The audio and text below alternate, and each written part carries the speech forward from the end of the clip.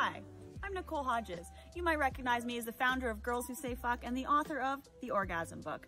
Please join me on Sunday where we are going to have an erotic writing workshop where you will learn how to ignite your creative energy through a journaling exercise, a sharing exercise, and talking about your deep feelings, how you're going to be turned on in seemingly mundane situations where all of a sudden grocery shopping isn't some boring thing that you do because you need to, it's something that you want to do because touching and feeling things and feeling that static energy in the air when you are connected to yourself is what makes us all feel very alive. So come join me on Sunday and we are going to have a wonderful time.